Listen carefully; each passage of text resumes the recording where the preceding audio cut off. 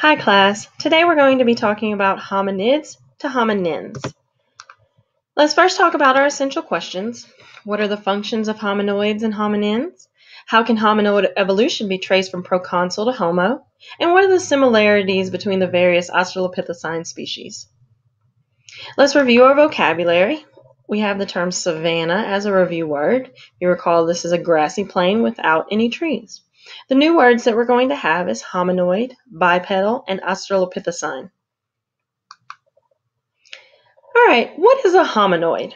A hominoid is a non-monkey anthropoid. This is going to include the humans, the chimpanzees, the orangutans, the gorillas, and the gibbons, all living ones, all extinct ones. Uh, we're going to see the arrival of the first hominoids about 25 million years ago. Um, they're going to have a lot of the same uh, characteristics that we talked about in the last class period for primates. They're going to have the large brain sizes relative to their body, the free moving hips and shoulders, and they're going to be adapted for brachiolation.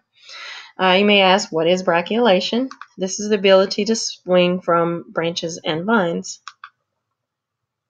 If we take a look at this figure here, it's going to show us the different, um, the relationship between different species. You see here we have humans, chimpanzees, bonobos, gorillas, and orangutans. These are going to be our hominoids. If you look here, we have baboons and macaques. That is our old world monkeys.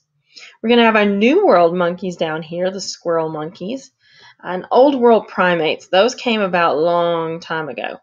And you can see here we don't see the hominids coming in until actually around 23 million years ago. This has been comprised uh, from fossil dating and biochemical data to show the relationships between the two of them. Uh, when you have the branching like this, we see that the chimpanzees and the bonobos are actually the closest related of any of these that are on here. Again, we talked about the characteristics of hominoids when we talked about primates. They're the largest, though, of the primates. They have the largest brain sizes relative to their body size. Uh, they have broad pelvises, uh, long fingers, no tail, flexible hips and joints, and a semi-upright or an upright posture. We can see here with the humans, uh, humans and gibbons have an upright posture, and orangutans, chimpanzees, and gorillas have a semi-upright position. One thing we didn't talk about with primates are the molars. Uh, hominoids have distinctive molars. These are going to be the teeth in the back of your mouth. Uh, they're really good for mashing things. Um, someone asked the question in class today, what was our earliest ancestor or the common ancestor that we have with apes? The answer to that was proconsul. This is going to be the one that's going to show us the branching off from uh, apes into humans. Uh, it was discovered in 1948. It was shown to be the hominoid with the smallest brain, uh, which tells you that it's most likely one of the first. So, looking at the lineage of where apes and humans split off, uh, we can look here and see that we have chimpanzees. This is a chimpanzee, and this is a hominid, most likely a human hominin. Uh, and you can see the differences between them. We have the curved uh, spine here. Humans have an S-shaped spine, and you can see the arms are not as long as the legs, whereas the arms are longer than the legs in the chimpanzees. Although there's all these differences between them, the chimpanzee is the most closely related uh, to humans. Okay, so let's talk about hominins. Okay, so we had hominoids. That's going to include the apes and the gibbons and all of that. Hominins, if you recall from primate, the primate lecture, it only includes Homo sapiens. Humans are the only living hominins at this point.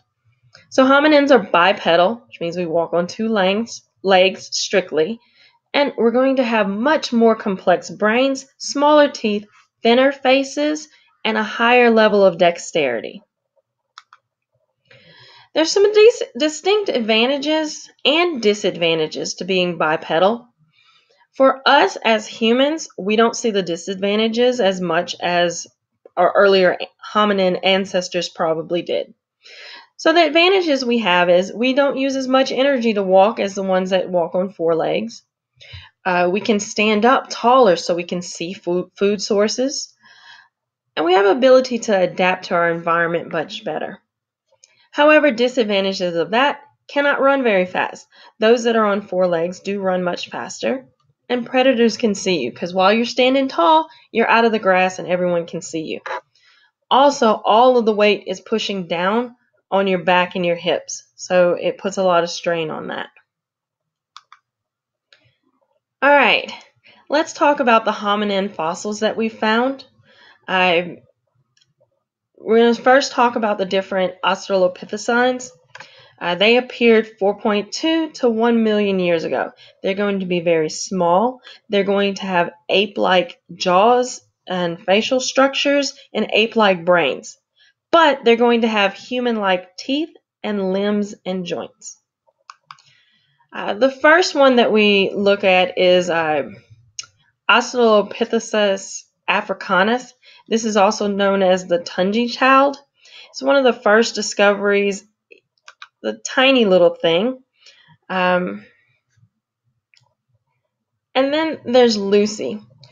Lucy, this is probably the one that you've heard the most about uh, about 2.9 million years ago. Uh, she's part of Australopithecus africanus. Um, she has a very complete uh, fossil structure, and they were able to reconstruct her features from there. As you can see from the picture, she is still quite ape-like and have not fully turned towards the Homo uh, genus. Um, she, if we're looking at Lucy, she had a lot of traits that were both ape-like and traits that were both human-like. Uh, so we can see here the human hip bones and the chimpanzee hip bones, and then you can see Lucy's are somewhere in between that. Also, the human skull, the chimpanzee skull, and then Lucy's is somewhere in between that. Here you can see the full structure. Um, like I said, it's one of the most complete skeletons from that time that we have. All right, so what were the features of hominoids and hominins? Again, very much like the features we were talking about with primates, no tails, um, large brain sizes. Uh, the hominins are going to be bipedal.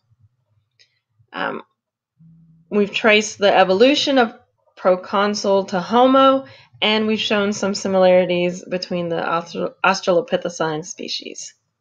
Thank you for watching. Now, you need to go here to this website, take this quiz, take it once. If I see your name on there twice, I'm just going to delete them both.